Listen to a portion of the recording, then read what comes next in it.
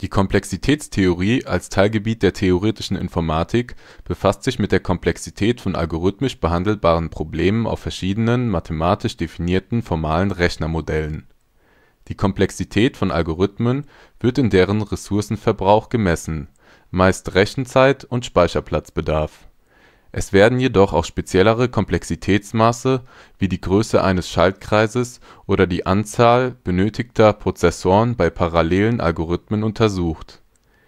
Die Komplexitätstheorie unterscheidet sich von der Berechenbarkeitstheorie, die sich mit der Frage beschäftigt, welche Probleme prinzipiell algorithmisch gelöst werden können.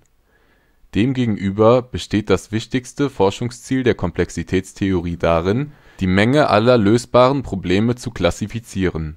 Insbesondere versucht man die Menge der effizient lösbaren Probleme von der Menge der inhärent schwierigen Probleme abzugrenzen. Einordnung in die theoretische Informatik Die Komplexitätstheorie gilt neben der Berechenbarkeitstheorie und der Theorie der formalen Sprache als einer der drei Hauptbereiche der theoretischen Informatik zu ihren wesentlichen Forschungszielen gehört die Klassifizierung von Problemen im Hinblick auf den zu ihrer Lösung notwendigen Aufwand. Eine besondere Rolle spielt dabei die Abgrenzung der praktisch effizient lösbaren Probleme. Die Komplexitätstheorie grenzt daher diejenigen Probleme ein, in denen andere Disziplinen der Informatik überhaupt sinnvollerweise nach effizienten Lösungen suchen sollten und motiviert so die Entwicklung von praxistauglichen Approximationsalgorithmen. Neben dem reinen Erkenntnisgewinn bereichert auch das Methodenarsenal der komplexitätstheoretischen Forschung zahlreiche angrenzende Gebiete. So führt etwa ihre enge Verzahnung mit der Automatentheorie zu neuen Maschinenmodellen und einem umfassenden Verständnis der Arbeitsweise von Automaten. Die häufig konstruktive Beweisführung findet auch im Rahmen des Entwurfs und der Analyse von Algorithmen und Datenstrukturen Anwendung. Probleme aus Sicht der Komplexitätstheorie Entscheidungsprobleme als formale Sprachen Den zentralen Gegenstand der Komplexitätstheorie bilden Probleme und zwar in der Regel Entscheidungsprobleme, deren Instanz eine Ja/Nein-Antwort erfordern. Ein Entscheidungsproblem wird dabei oft als formale Sprache dargestellt. Man drückt jede Probleminstanz als Wort über einem Alphabet aus, das heißt als Folge von Zeichen aus diesem Alphabet. Die fragliche Sprache besteht aus den Wörtern, denen eine Instanz mit der Antwort Ja entspricht. Die Aufgabe besteht dann in der Lösung des Wortproblems, also darin für ein gegebenes Wort zu entscheiden, ob es zu der Sprache gehört oder nicht, und damit hat man auch die Antwort auf die entsprechende Probleminstanz gefunden. Wenn zum Beispiel das Problem darin besteht, zu entscheiden, ob ein Graph zusammenhängend ist oder nicht, dann wäre ein Wort eine Darstellung eines beliebigen Graphen. Die zugehörige zu entscheidende Sprache wäre die Menge der Wörter, die einen zusammenhängenden Graphen darstellen man könnte annehmen, dass die Einschränkung auf Entscheidungsprobleme viele wichtige Probleme ausschließt. Es gibt jedoch zu allen im Sinne der Komplexitätstheorie relevanten Problemen auch ein entsprechendes Entscheidungsproblem. Betrachtet man zum Beispiel das Problem der Multiplikation zweier Zahlen, so besteht die dazugehörige Sprache des Entscheidungsproblems aus allen Zahlen a, b, c, für die der Zusammenhang gilt a mal b gleich c die Entscheidung, ob ein gegebenes Tripel zu einer Sprache gehört, entspricht dem Lösen des Problems der Multiplikation zweier Zahlen. Berechnungsprobleme als Abbildungen Darüber hinaus ist man in der Komplexitätstheorie manchmal daran interessiert, Problemlösungen auch wirklich zu generieren. Hier begnügt man sich nicht mit der einfachen Ja/Nein-Antwort eines Wortproblems für formale Sprachen Stattdessen versteht man das Problem als eine Abbildung aus einem Definitionsbereich in einem Lösungsraum. Die Lösung des Problems der Multiplikation zweier Zahlen in etwa würde man als Ergebnis der Abbildung f mit f a, b = a mal b verstehen. Für die Definition der ersten Komplexitätsklassen wird jedoch die Formulierung durch Entscheidungsprobleme bevorzugt eine wichtige Unterkategorie der Berechnungsprobleme stellen die Optimierungsprobleme dar. Bei Optimierungsproblemen besteht der funktionale Zusammenhang aus der Forderung, dass ein Maximum bzw. ein Minimum zu einer gegebenen Kostenfunktion zu der Eingabe ausgegeben werden soll. Man könnte so zum Beispiel beim Problem des Handlungsreisenden nach der optimalen Route durch die Landeshauptstädte Deutschlands fragen, welche die geringste Gesamtlänge besitzt Viele Optimierungsprobleme sind von großer praktischer Bedeutung. Probleminstanzen Eine Probleminstanz ist nicht mit dem Problem selbst zu verwechseln. Ein Problem stellt in der Komplexitätstheorie die abstrakte Fragestellung dar. Dem bezeichnet die Instanz eines Problems eine ganz konkrete Ausprägung, die als Eingabe für eine solche Entscheidungsfrage dienen könnte. Eine Instanz des Problems des Handlungsreisenden könnte zum Beispiel die Frage sein, ob eine Route durch die Landeshauptstädte Deutschlands mit einer maximalen Länge von 2000 km existiert die Entscheidung über diese Route hat jedoch nur begrenzten Wert über andere Probleminstanzen, wie etwa eine Rundreise durch die Sehenswürdigkeiten Mailands mit gegebener Längenschranke. In der Komplexitätstheorie interessiert man sich daher für Aussagen, die unabhängig von konkreten Instanzen sind. Als formale Sprachen werden Probleme und deren Instanzen über abstrakten Alphabeten definiert. Häufig wird das binäre Alphabet mit den Symbolen 0 und 1 gewählt da dies der Verwendung von Bits bei modernen Rechnern am nächsten kommt. Eingaben werden durch Alphabetsymbole kodiert. Anstelle von mathematischen Objekten wie Graphen verwendet man möglicherweise eine Bitfolge, die der Ayescence-Matrix des Graphen entspricht, anstelle von natürlichen Zahlen zum Beispiel deren Binärdarstellung auch wenn sich Beweise komplexitätstheoretischer Aussagen in der Regel konkreter Repräsentationen der Eingaben bedienen, versucht man Aussagen und Betrachtungen unabhängig von Repräsentationen zu halten. Dies kann etwa erreicht werden, indem man sicherstellt, dass die gewählte Repräsentation bei Bedarf ohne allzu großen Aufwand in eine andere Repräsentation transformiert werden kann, ohne dass sich hierdurch die Berechnungsaufwände insgesamt signifikant verändern um dies zu ermöglichen, ist unter anderem die Auswahl eines geeigneten universellen Maschinenmodells von Bedeutung. Problemgröße Hat man ein Problem formal definiert zum Beispiel das Problem des Handlungsreisenden in Form eines Graphen mit Kantengewichten, so möchte man Aussagen darüber treffen, wie sich ein Algorithmus bei der Berechnung der Problemlösung in Abhängigkeit von der Schwierigkeit des Problems verhält. Im Allgemeinen sind bei der Beurteilung der Schwierigkeit des Problems viele verschiedene Aspekte zu betrachten. Dennoch gelingt es häufig, wenige skalare Größen zu finden, die das Verhalten des Algorithmus im Hinblick auf den Ressourcenverbrauch maßgeblich beeinflussen diese Größen bezeichnet man als Problemgrößen. In aller Regel entspricht diese der Eingabelänge bei einer konkret gewählten Repräsentation der Eingabe. Man untersucht nun das Verhalten des Algorithmus in Abhängigkeit von der Problemgröße. Die Komplexitätstheorie interessiert sich für die Frage, wie viel Mehrarbeit ist für wachsende Problemgrößen notwendig. Steigt der Aufwand in Relation zur Problemgröße, zum Beispiel linear, polynomial exponentiell oder gar überexponentiell. So kann man beim Problem des Handlungsreisenden die Problemgröße als Anzahl vorgegebener Orte definieren. Dann ist dieses Problem für die Problemgröße 2 trivial, da es hier überhaupt nur eine mögliche Lösung gibt und diese folglich auch optimal sein muss. Mit zunehmender Problemgröße wird ein Algorithmus jedoch mehr Arbeit leisten müssen. Bester, schlechtester und durchschnittlicher Fall für Problemgrößen. Auch innerhalb einer Problemgröße lassen sich verschiedene Verhaltensweisen von Algorithmen beobachten. So hat das Problem des Handlungsreisenden für die 16 deutschen Landeshauptstädte dieselbe Problemgröße n = 16 wie das Finden einer Route durch 16 europäische Hauptstädte. Es ist keineswegs zu erwarten, dass ein Algorithmus unter den unterschiedlichen Bedingungen jeweils gleich gut arbeitet da es jedoch in der Regel unendlich viele Instanzen gleicher Größe für ein Problem gibt, gruppiert man diese grob in drei Gruppen: bester, schlechtester und durchschnittlicher Fall. Diese stehen für die Fragen: Bester Fall fragt: Wie arbeitet der Algorithmus im günstigsten Fall? Schlechtester Fall fragt: Wie arbeitet der Algorithmus im schlimmsten Fall? Durchschnittlicher Fall fragt: Wie arbeitet der Algorithmus durchschnittlich untere und obere Schranke für Probleme. Die Betrachtung bester, schlechtester und durchschnittlicher Fälle bezieht sich stets auf eine feste Eingabelänge. Auch wenn die Betrachtung konkreter Eingabelängen in der Praxis von großem Interesse sein kann, ist diese Sichtweise für die Komplexitätstheorie meist nicht abstrakt genug. Welche Eingabelänge als groß oder praktisch relevant gilt, kann sich aufgrund technischer Entwicklungen sehr schnell verändern Es ist daher gerechtfertigt, das Verhalten von Algorithmen in Bezug auf ein Problem gänzlich unabhängig von konkreten Eingabelängen zu untersuchen. Man betrachtet hierzu das Verhalten der Algorithmen für immer größer werdende, potentiell unendlich große Eingabelängen. Man spricht vom asymptotischen Verhalten des jeweiligen Algorithmus. Bei dieser Untersuchung des asymptotischen Ressourcenverbrauchs spielen untere und obere Schranken eine zentrale Rolle. Man möchte also wissen, welche Ressourcen für die Entscheidung eines Problems mindestens und höchstens benötigt werden.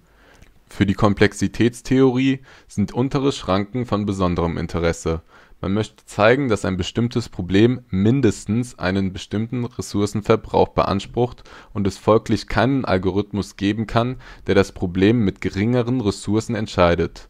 Solche Ergebnisse helfen Probleme nachhaltig bezüglich ihrer Schwierigkeit zu separieren. Jedoch sind bisher nur vergleichsweise wenige aussagekräftige untere Schranken bekannt der Grund hierfür liegt in der Problematik, dass sich Untersuchungen unterer Schranken stets auf alle denkbaren Algorithmen für ein Problem beziehen müssen, also auch auf Algorithmen, die heute noch gar nicht bekannt sind. Im Gegensatz dazu gelingt der Nachweis von oberen Schranken in der Regel durch die Analyse konkreter Algorithmen. Durch den Beweis der Existenz auch nur eines Algorithmus, der die obere Schranke einhält, ist der Nachweis bereits erbracht. Maschinenmodelle in der Komplexitätstheorie. Kostenfunktionen. Zur Analyse des Ressourcenverbrauchs von Algorithmen sind geeignete Kostenfunktionen zu definieren, welche eine Zuordnung der Arbeitsschritte des Algorithmus zu den verbrauchten Ressourcen ermöglichen. Um dies zu tun, muss zunächst festgelegt werden, welche Art von Arbeitsschritt einem Algorithmus überhaupt erlaubt ist. Diese Festlegung erfolgt in der Komplexitätstheorie für abstrakte Maschinenmodelle würde man auf reale Rechnermodelle zugreifen, so wäre die gewonnene Erkenntnis bereits in wenigen Jahren überholt. Der Arbeitsschritt eines Algorithmus erfolgt in Form einer Befehlsausführung auf einer bestimmten Maschine. Die Befehle, die eine Maschine ausführen kann, sind dabei durch das jeweilige Modell streng limitiert Darüber hinaus unterscheiden sich verschiedene Modelle etwa in der Handhabung des Speichers und in ihren Fähigkeiten zur parallelen Verarbeitung, das heißt der gleichzeitigen Ausführung mehrerer Befehle. Definition der Kostenfunktion erfolgt nun durch eine Zuordnung von Kostenwerten zu den jeweils erlaubten Befehlen. Kostenmaße Häufig wird von unterschiedlichen Kosten für unterschiedliche Befehle abstrahiert und als Kostenwert für eine Befehlsausführung immer 1 gesetzt. Sind auf einer Maschine beispielsweise Addition und Multiplikation die erlaubten Operationen, so zählt man für jede Addition und jede Multiplikation, die im Laufe des Algorithmus berechnet werden muss, den Kostenwert von 1 hinzu. Man spricht dann von einem uniformen Kostenmaß. Ein solches Vorgehen ist dann gerechtfertigt, wenn sich die erlaubten Operationen nicht gravierend unterscheiden und wenn der Wertebereich, auf dem die Operationen arbeiten, nur eingeschränkt groß ist. Dies wird schon für eine einfache Operation wie die Multiplikation klar. Das Produkt zweier einstelliger Dezimalzahlen dürfte sich ungleich schneller berechnen lassen als das Produkt zweier hundertstelliger Dezimalzahlen. Bei einem uniformen Kostenmaß würden beide Operationen dennoch mit einem Kostenwert von 1 veranschlagt Sollten sich die möglichen Operanden im Laufe eines Algorithmus tatsächlich so gravierend unterscheiden, so muss ein realistischeres Kostenmaß gewählt werden. Häufig wählt man dann das logarithmische Kostenmaß. Der Bezug auf den Logarithmus ergibt sich daraus, dass sich eine Dezimalzahl n im Wesentlichen durch log2 (n) darstellen lässt. Man wählt zur Repräsentation der Operanden Binärziffern aus und definiert die erlaubte boolsche Operation sollte das jeweilige Maschinenmodell Adressen verwenden, so werden auch diese binär codiert. Auf diese Weise werden die Kosten über die Länge der Binärdarstellung logarithmisch gewichtet. Andere Kostenmaße sind möglich, werden jedoch nur selten eingesetzt. Maschinenmodelle und Probleme Man unterscheidet verschiedene Berechnungsparadigmen. Der pragmatischste Typ ist sicher der der deterministischen Maschinen Weiterhin gibt es den in der Theorie besonders relevanten Typ der nichtdeterministischen Maschinen. Weiterhin gibt es noch probabilistische Maschinen, alternierende und andere. In der Regel kann man jedes Maschinenmodell mit jedem der obigen Paradigmen definieren. Einige Paradigmen, so zum Beispiel der Nichtdeterminismus, modellieren dabei einen Typ, der der Theorie vorbehalten bleiben muss, da man den Nichtdeterminismus in der dort definierten Form physikalisch nicht bauen kann lassen sich jedoch häufig leicht zu gegebene Probleme konstruieren. Da eine Transformation von nichtdeterministischen in deterministische Maschinen immer relativ einfach möglich ist, konstruiert man daher zunächst eine nichtdeterministische Maschinenversion und transformiert diese später in eine deterministische. Daraus geht eine wichtige Beweistechnik der Komplexitätstheorie vor. Lässt sich zu einem gegebenen Problem ein bestimmter Maschinentyp konstruieren, auf dem das Problem mit bestimmten Kosten entschieden werden kann, so kann damit bereits die Komplexität des Problems eingeschätzt werden. Tatsächlich werden sogar die unterschiedlichen Maschinenmodelle bei der Definition von Komplexitätsklassen zugrunde gelegt. Dies entspricht einer Abstraktion von einem konkreten Algorithmus. Wenn ein Problem auf eine Maschine M entscheidbar ist, so lässt es sich unmittelbar einer bestimmten Komplexitätsklasse zuordnen, nämlich derjenigen, die von M definiert wird. Dieses Verhältnis zwischen Problemen und Maschinenmodellen ermöglicht Beweisführungen ohne die umständliche Analyse von Algorithmen Häufig verwendete Maschinenmodelle sind Turingmaschine Registermaschine Kellerautomat Endlicher Automat Zur Untersuchung parallelisierbarer Probleme können darüber hinaus auch parallelisierte Versionen dieser Maschinen zum Einsatz kommen, insbesondere die parallele Registermaschine. Die erweiterte Church-Turing-These für die Verwendung von Maschinenmodellen in der Komplexitätstheorie ist eine Erweiterung der Church-Turing-These von Bedeutung, die auch als erweiterte Church-Turing-These bezeichnet wird. Sie besagt, dass alle universellen Maschinenmodelle in Bezug auf die Rechenzeit bis auf polynomielle Faktoren gleich mächtig sind. Dies ermöglicht den Komplexitätstheoretikern eine relativ freie Wahl des Maschinenmodells im Hinblick auf das jeweilige Untersuchungsziel auch diese These ist nicht beweisbar. Im Gegensatz zur gewöhnlichen Church-Turing-These wäre es aber möglich, sie durch ein Gegenbeispiel zu widerlegen. Modellmodifikationen für Speicherplatzanalysen Zur Untersuchung des Mindestspeicherbedarfs, der für die Lösung von Problemen benötigt wird, nimmt man häufig die folgenden Modifikationen des verwendeten Maschinenmodells (in der Regel eine Turingmaschine) vor: Erstens der Eingabespeicher darf nur gelesen werden. Auf die Ausgabe darf nur geschrieben werden. Der Schreibkopf wird nur nach Schreibvorgängen und immer wieder in dieselbe Richtung bewegt. Für die Untersuchung des Speicherbedarfs dürfen dann Ein - und Ausgabe der Maschine unberücksichtigt bleiben. Die Motivation für die Änderung ist die folgende: Würde zum Beispiel der Eingabespeicher in die Speicherplatzanalyse einbezogen, so könnte kein Problem in weniger als O von n Platzbedarf gelöst werden, denn das Eingabewort hat ja immer genau die Länge und damit den Speicherbedarf n. Indem man die Eingabe nur lesbar macht, verhindert man, dass sie für Zwischenrechnungen verwendet werden kann. Man kann dann die Eingabe bei der Berechnung des Platzbedarfs vernachlässigen. Eine ähnliche Argumentation führt zu der Einschränkung der Ausgabe durch die zusätzliche Einschränkung einer möglichen Kopfbewegung wird verhindert, dass die Kopfposition verwendet wird, um sich Informationen zu „ merken “. Insgesamt stellen all diese Einschränkungen sicher, dass Ein - und Ausgabe bei der Speicherplatzanalyse nicht berücksichtigt werden müssen. Die vorgenommenen Modifikationen beeinflussen das Zeitverhalten der Maschine übrigens nur mit einem konstanten Faktor und sind damit vernachlässigbar Verwendung und Rechtfertigung der O-Notation Bei der Untersuchung von Größenordnungen für Aufwände wird in der Komplexitätstheorie ausgiebig von der O-Notation Gebrauch gemacht. Dabei werden lineare Faktoren und Konstanten aus der Betrachtung ausgeblendet. Diese Vorgehensweise mag zunächst überraschen, wäre doch für den Praktiker häufig bereits eine Halbierung der Aufwendungen von hoher Bedeutung der Standpunkt der Komplexitätstheorie lässt sich theoretisch mit einer Technik rechtfertigen, die man als lineares Beschleunigen oder auch Speedup-Theorem bezeichnet. Das Speedup-Theorem besagt vereinfachend, dass sich zu jeder Turingmaschine, die ein Problem in Zeit t entscheidet, eine neue Turingmaschine konstruieren lässt, die das Problem in Zeit weniger als ε mal t entscheidet. Dabei kann ε größer 0 beliebig klein gewählt sein das bedeutet nichts anderes, als dass sich jede Turingmaschine, die ein bestimmtes Problem löst, um einen beliebigen konstanten Faktor beschleunigen lässt. Der Preis für diese Beschleunigung besteht in einer stark vergrößerten Arbeitsalphabetgröße und Zustandsmenge der verwendeten Turingmaschine letztlich also der Hardware. Diese Beschleunigung wird unabhängig von der Problemgröße erreicht. Es gibt daher keinen Sinn, konstante Faktoren bei der Betrachtung von Problemen zu berücksichtigen. Solche Faktoren ließen sich durch Anwendung der Beschleunigungstechnik wieder beseitigen. Die Vernachlässigung konstanter Faktoren, die sich in der O-Notation ausdrückt, hat daher nicht nur praktische Gründe.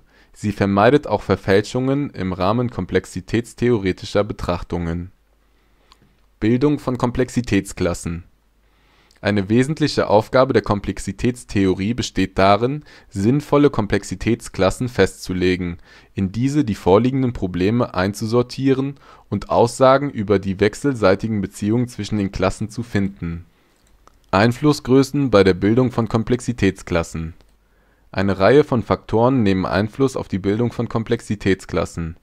Die wichtigsten sind die folgenden das zugrundeliegende Berechnungsmodell (Turingmaschine, Registermaschine usw.), der verwendete Berechnungsmodus (deterministisch, nichtdeterministisch, probabilistisch usw.), die betrachteten Berechnungsressourcen (Zeit, Platz, Prozessoren), das angegebene Kostenmaß (uniform, logarithmisch) und die eingesetzte Schrankenfunktion. Anforderungen an Schrankenfunktionen Zur Angabe der Definition von Komplexitätsklassen verwendet man Schrankenfunktionen. Schreibt man beispielsweise DTIME von f, so meint man damit die Klasse aller Probleme, die sich auf einer deterministischen Turingmaschine in der Zeit O von f entschieden werden können. f ist dabei eine Schrankenfunktion um als Schrankenfunktion für komplexitätstheoretische Analysen eingesetzt werden zu können, sollte die Funktion mindestens die folgenden Anforderungen erfüllen: f ist eine Abbildung der natürlichen Zahlen auf die natürlichen Zahlen (Schrittzahl, Speicher usw. werden als natürliche Zahlen berechnet) f von n + 1 ist größer gleich f von n (monotones Wachstum). Die Funktion f muss selbst in Zeit O von f und mit Raum O von f berechenbar sein (Raum-Zeit-Konstruierbarkeit). Eine Funktion, die diesen Anforderungen genügt, bezeichnet man auch als echte Komplexitätsfunktion. Der Sinn der Anforderungen ist zum Teil technischer Natur.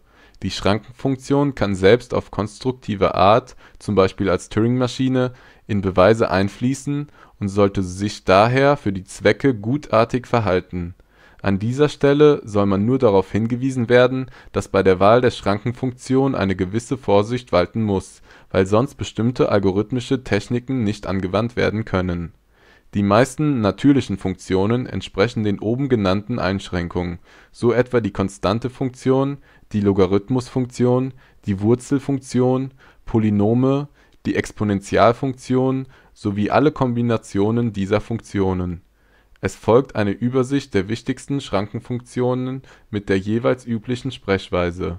Die Angabe erfolgt wie üblich in O-Notation. Die wichtigsten Schrankenfunktionen: Konstant O von 1 Logarithmisch O von log n. Polylogarithmisch O von log k von n. (für k > 1) Linear O von n. n-Log n O von n mal Logarithmus n. Quadratisch O von n2 Polynomial O von n hoch k (für k > 1) Exponentiell O von d hoch n (für d > 1) Hierarchiesätze für die gegebenen Klassen möchte man möglichst beweisen, dass durch zusätzlich bereitgestellte Ressourcen tatsächlich mehr Probleme gelöst werden können. Diese Beweise bezeichnet man als Hierarchiesätze (auch Separationssätze genannt), da sie auf den Klassen der jeweiligen Ressourcen eine Hierarchie induzieren. Es gibt also Klassen, die in eine echte Teilmengenbeziehung gesetzt werden können wenn man solche echte Teilmengenbeziehungen ermittelt hat, lassen sich auch Aussagen darüber treffen, wie groß die Erhöhung einer Ressource sein muss, um damit eine größere Zahl von Problemen berechnen zu können. Von besonderem Interesse sind dabei wiederum die Ressourcen Zeit und Raum. Die induzierten Hierarchien bezeichnet man als Zeithierarchie oder Raumhierarchie. Die Hierarchiesätze bilden letztlich das Fundament für die Separierung von Komplexitätsklassen. Sie bilden einige der frühesten Ergebnisse der Komplexitätstheorie. Es muss ergänzt werden, dass alle Hierarchiesätze auf diversen Voraussetzungen beruhen. Eine dieser Voraussetzungen ist etwa, dass die oben genannten Anforderungen an echte Komplexitätsfunktionen erfüllt werden. Ohne die Einhaltung dieser Anforderungen bricht tatsächlich die gesamte Klassenhierarchie in sich zusammen. Zeithierarchiesatz Der Zeithierarchiesatz besagt: D-Time von f {n}} ist Teilmenge von D-Time von f von n Logarithmus zum Quadrat von f von n. Dies bedeutet also, dass man die Zeitressource um einen Faktor Logarithmus zum Quadrat von f von n erhöhen muss, um auf einer deterministischen Turingmaschine mehr Probleme lösen zu können. Eine ähnliche Beziehung lässt sich für nichtdeterministische Turingmaschinen finden. Raumhierarchiesatz Der Raumhierarchiesatz besagt: D-Space von f von n ist Teilmenge von D-Space von f von n mal Logarithmus von f von n. Die Aussage ist analog zum Zeithierarchiesatz. Man erkennt jedoch, dass im Vergleich zur Zeit bereits eine geringere Steigerung des Raumes ausreicht (Faktor log ⁡ f von n im Vergleich zu log² f von n), um eine größere Klasse zu bilden. Dies entspricht auch einer intuitiven Erwartung, verhält sich doch der Raum insgesamt aufgrund seiner Wiederverwendbarkeit (alte Zwischenergebnisse können überschrieben werden) gutmütiger.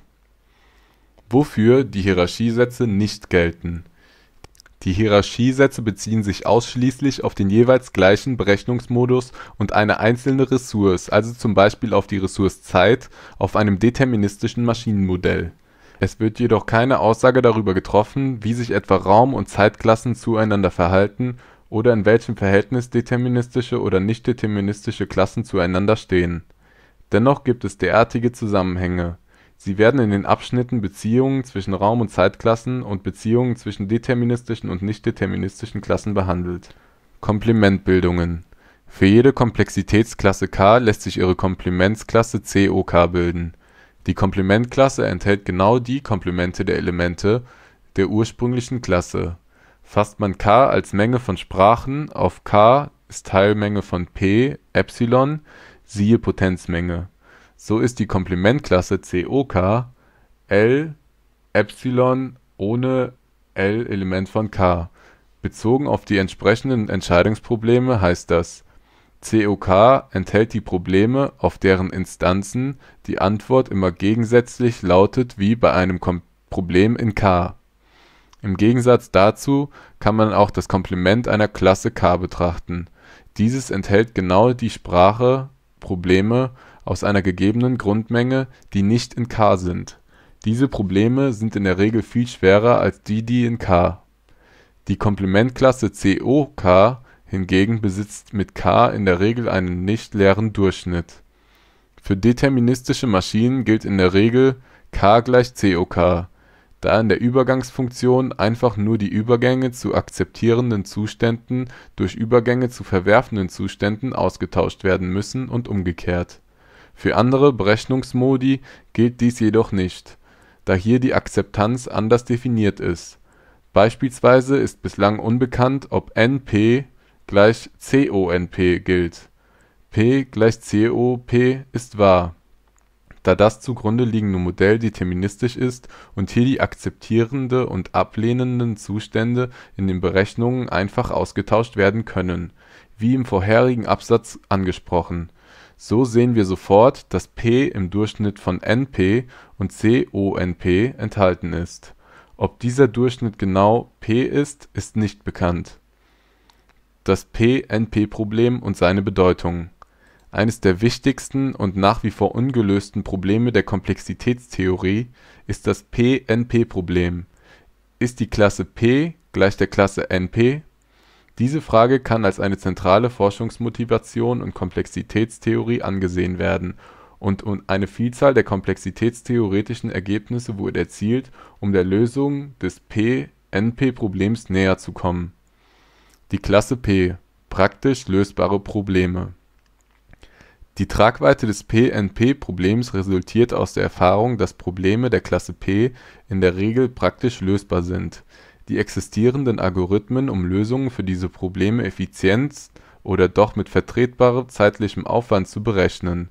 Der zeitliche Aufwand zur Problemlösung wächst für die Probleme der Klasse P maximal polynomial. Meist lassen sich sogar Algorithmen finden, deren Zeitfunktionen Polynome niedrigen Grades sind. Da das gewählte Maschinenmodell dieser Zeitklasse deterministisch und damit tatsächlich realisierbar ist, entsprechen die Probleme der Klasse P etwa den algorithmisch lösbaren Problemen. Die Klasse NP: Praktisch vermutlich nicht lösbare Probleme Die Algorithmen zur Lösung der Probleme in NP basieren auf einem nichtdeterministischen Maschinenmodell. Für solche Maschinen wird eine unbeschränkte Parallelisierbarkeit der sich verzweigenden Berechnungspfade angenommen, die tatsächlich nicht realisiert werden kann. Zwar arbeiten auch die Algorithmen zur Lösung der Probleme in NP in polynomialer Zeit, aber eben auf der Basis eines unrealistischen Maschinenmodells. Auf einer deterministischen Maschine, wie es alle existierenden Computer sind, kann der Aufwand zu ihrer Berechnung mit wachsender Problemgröße mehr als polynomial ansteigen. Es gibt daher Probleme in NP, die für praktische Zwecke als nicht lösbar gelten. Dazu gehören die NP-vollständigen Probleme. In dieser Klasse finden sich Probleme aus fast allen Bereichen der Informatik, deren effiziente Lösung enorm wichtig wäre. Es sind aber nicht alle Probleme in NP schwer, weil NP auch die Klasse P enthält. Der Fall P = NP: Würde das P-NP-Problem im Sinne von P = NP gelöst, so wüssten wir, dass es selbst für n-vollständige Probleme Algorithmen geben muss, die mit polynomiellem Zeitaufwand arbeiten da umgekehrt die Definition der NP-Vollständigkeit Algorithmen voraussetzt, mit denen es gelingt, beliebige Probleme aus NP in polynomieller Zeit auf NP-vollständige Probleme zu reduzieren, wären mit der polynomiellen Lösbarkeit auch nur eines einzigen NP-vollständigen Problems sofort sämtliche Probleme der Klasse NP in polynomieller Zeit lösbar. Dies hätte eine Problemlösekraft in der gesamten Informatik zur Folge wie sie auch durch noch so große Fortschritte in der Hardware-Entwicklung nicht erreicht werden kann. Andererseits ist für bestimmte Anwendungsfälle eine Lösung des P-NP-Problems im Sinne von P = NP eher unerwünscht. Beispielsweise würden asymmetrische Verschlüsselungsverfahren erheblich an Sicherheit verlieren, da diese in Polynomialzeit gebrochen werden können. Der Fall P ungleich NP würde das P-NP-Problem im Sinne von P ungleich NP gelöst, so wäre klar, dass weitere Bemühungen polynomieller Lösungen für NP-vollständige Probleme zu finden sinnlos wären. Man kann sich leicht vorstellen, dass aufgrund der hohen Bedeutung der Probleme in NP die Bemühungen um eine effiziente Lösung erst dann eingestellt werden, wenn diese nachgewiesenermaßen unmöglich ist. Bis zu diesem Zeitpunkt wird noch viel private und öffentliche Forschungsenergie aufgewandt werden in vielen Theoremen wird heute jedoch angenommen, dass P ungleich NP gilt, denn nur so kann ohne einen Beweis der Gleichheit trotzdem effektive Forschungsarbeit geleistet werden. Man sucht nach Auswegen durch Approximationen und Heuristiken nach Problemeinschränkungen, die die Praxis nicht vernachlässigen. Konsequenzen für die Komplexitätstheorie zu den wichtigsten Forschungszielen der Komplexitätstheorie gehört die Abgrenzung des praktisch Machbaren und damit des Betätigungsfeldes der Informatik schlechthin. Die vorherigen Abschnitte haben die Wichtigkeit dieser Grenzziehung verdeutlicht. Im Zuge der Versuche, das P-NP-Problem zu lösen, hat die Komplexitätstheorie zahlreiche Ergebnisse zutage gefördert und ihre Analysemethoden Zug um Zug verfeinert diese Ergebnisse werden insbesondere beim Entwurf und der Analyse praktisch wichtiger Algorithmen angewandt und wirken so auch unmittelbar auf die praktische Informatik. Die seit über 30 Jahren andauernden Bemühungen, das P-NP-Problem zu lösen, gewähren darüber hinaus dem praktischen Informatiker ein großes Maß an Sicherheit, dass isolierte Bemühungen zur effizienten Lösung von Problemen aus NP mehr oder weniger sinnlos sind. Die praktische Informatik konzentriert sich daher bei der Lösung für Probleme aus NP auf Näherungslösungen oder die Abwandlung der ursprünglichen Probleme. So kann sich beispielsweise die Komplexitätstheorie von Optimierungsalgorithmen enorm verringern, wenn man keine optimale Lösung anstrebt, sondern mit einer fast optimalen Lösung zufrieden ist. Die Komplexitätstheorie liefert für diese Vorgehensweise die theoretische Rückendeckung. Sprachen und Komplexitätsklassen Das folgende Inklusionsdiagramm gibt einen recht groben Überblick über die Zusammenhänge zwischen Klassen der Berechenbarkeitstheorie, der Chomsky-Hierarchie und den bedeutendsten Komplexitätsklassen. Siehe Wikipedia Geschichte der Komplexitätstheorie Nachdem in den vorhergehenden Abschnitten zahlreiche Grundbegriffe und wichtige Ergebnisse der Komplexitätstheorie erläutert wurden, wird in den folgenden Abschnitten ein geschichtlicher Abriss gegeben, der die zeitliche Abfolge dieser Ergebnisse einordnen helfen soll. Grundlagen Vor dem eigentlichen Beginn der explizit auf die Komplexität von Algorithmen bezogenen Forschung wurden zahlreiche Grundlagen erarbeitet als wichtigstes kann dabei die Konstruktion der Turingmaschine durch Alan Turing im Jahre 1936 angesehen werden, die sich für spätere Algorithmenanalysen als ausgesprochen flexibles Modell erwies. Als erste informelle komplexitätstheoretische Untersuchung werden Ergebnisse von John Myhill, Raymond Smullyan und Hisao Yamada angesehen, die sich mit speziellen raum - und zeitbeschränkten Problemklassen beschäftigt haben, jedoch in ihren Arbeiten noch keinen Ansatz zu einer allgemeinen Theorie entwickelten. Beginn der komplexitätstheoretischen Forschung Einen ersten großen Schritt in Richtung einer solchen Theorie unternehmen Juris Hartmanis und Richard Edwin Stearns in ihrer Arbeit 1965 On the Computational Complexity of Algorithms Sie geben bereits eine quantitative Definition von Zeit - und Platzkomplexität und wählen damit bereits die beiden Ressourcen aus, die bis heute als die wichtigsten angesehen werden. Dabei wählen sie die Mehrband-Turingmaschine als Grundlage und treffen damit eine sehr robuste Entscheidung, die in vielen komplexitätstheoretischen Feldern Bestand hat. Sie erarbeiten auch bereits erste Hierarchiesätze. In dem folgenden Jahr kommt es zu einer Reihe fundamentaler Ergebnisse 1967 veröffentlichte Manuel Blum das Speedup-Theorem. 1969 folgt das Union-Theorem von Edward M. McCreight und Albert R. Meyer, und 1972 veröffentlicht Alan Borodin das Gap-Theorem diese Ergebnisse lassen sich nicht nur als grundlegend für die Komplexitätstheorie ansehen, sie stellen auch ein Abtasten des noch neuen Forschungsgebietes dar, das sich zugleich noch durch möglichst spektakuläre Ergebnisse rechtfertigen muss. So treffen diese Theoreme zum Teil zwar überraschende Aussagen, sind aber mitunter auf Annahmen gebaut, die man heute einschränken würde.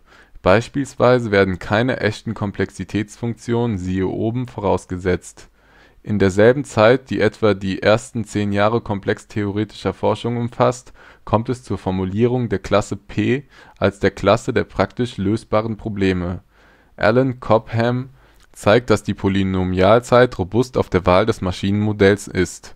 Darüber hinaus erweisen sich viele mathematische Funktionen als in Polynomialzeit berechenbar. Erforschung der Klasse NP Die Klasse NP tritt zuerst bei Jack Edmonds auf den Plan der jedoch zunächst nur eine informelle Definition gibt. Die Tatsache, dass zahlreiche wichtige Probleme in NP zu liegen scheinen, lässt diese Klasse jedoch bald als attraktives Forschungsfeld erscheinen.